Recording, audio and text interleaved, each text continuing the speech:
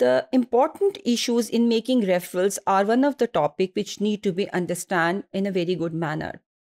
Understanding when and how refer to the clients to another th- therapist produces the best outcome for clients and therapist alike. like, जैसे ही हम ये decide करते हैं कि हमने एक क्लाइंट को रेफ़र करना है टू अनदर थेरेपिस्ट उसका फ़ायदा सिर्फ़ क्लाइंट को ही नहीं होता उसका फ़ायदा थेरेपिस्ट को भी होता है और ये दोनों के लिए इक्वली ज़रूरी है कि जब ये अप्रोप्रिएट हो, वहाँ पर हम इस ट्रांसफ़र को कर लें। क्योंकि एट टाइम्स जब थेरेपिस्ट वो डिलीवर नहीं कर पा रहे होते, जो उनकी कम्पिटेंसीज होती हैं या जो उनको करना चाहिए तो वो भी इक्वली जो है वो फ्रस्ट्रेट हो रहे होते हैं कि उनकी एफर्ट्स का वो रिज़ल्ट नहीं आ रहा जो कि वो रिक्वायर करते हैं। So it's important for both of them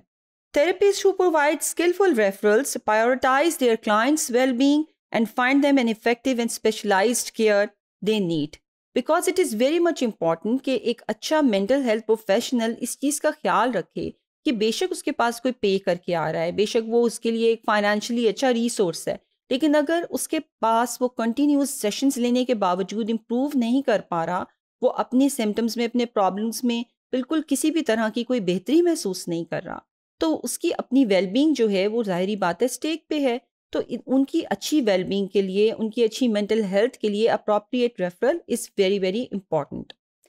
it is important that clients are not taking by surprise that the one day the therapist suggest them that you need a referral basically it's a process which should be done in to a very better manner क्योंकि uh, जैसे अगर हम एक example लेते हैं कि एक, uh, एक जो है इंडिविजुअल वो किसी भी मेडिकल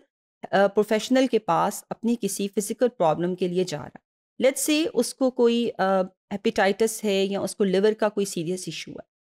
अब हेपेटोलॉजिस्ट उसका ट्रीटमेंट कर रहा है and one fine day the hepatologist says कि जी I don't have any further treatment for you so you should basically go to another hepatologist और वो उसको कोई और रेफरल दे देता है। So at times this gives a feeling of very bad rejection कि शायद अब मैं लाइलाज हो चुका हूँ, अब मैं कभी ठीक नहीं होऊँगा क्योंकि मुझे एक इतने बड़े डॉक्टर ने, इतने बड़े हेपाटोलॉजिस्ट ने नो कह दिया कि वो मेरा ट्रीटमेंट नहीं कर सकता। एंड समटाइम्स ये जो रिजेक्शन की फीलिंग है, वो आपको इतनी बुरी तरह हर्ट करती है कि आप वो एक जो फीलिंग होती है विल टू लिव वो लूज़ कर देते हैं।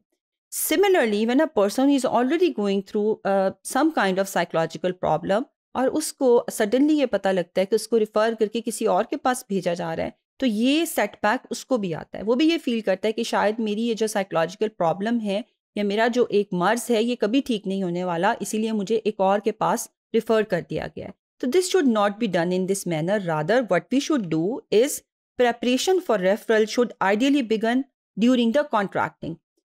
ये एक बहुत अच्छी एडवाइस भी है और एक बहुत अच्छा तरीका भी है कि क्लाइंट्स को शुरू से मेंटली प्रिपेयर किया जाए कि रेफरल करने की ज़रूरत ज़रूर पेश आ सकती है और ये एक बहुत अच्छी चीज़ है और इसका फ़ायदा जो है वो क्लाइंट को होता है। So, if in the beginning we have made up the mind of the client that at any stage the referral could be done and would, it would be basically for their importance for improving their mental health well-being and for uh, for their better treatment तो जब भी कभी referral की बात होगी तो they would not be at stake कि uh, हमें सडनली क्यों किसी और के पास रेफ़र किया जा रहा है सो so बेसिकली uh, उनको एक आइडिया देना कि डिफरेंट uh, लोगों की डिफरेंट स्टैंड्स हैं एंड अकॉर्डिंग टू दैट जैसे जैसे आपको इम्प्रूव होते जाएँगे मे बी हम आपको किसी और के पास रिफ़र करते हैं। So that will give them a better understanding about this process in this way the client is aware from the very start that referral is not a threatening thing but instead it is intended in a very genuine manner because it's a helpful action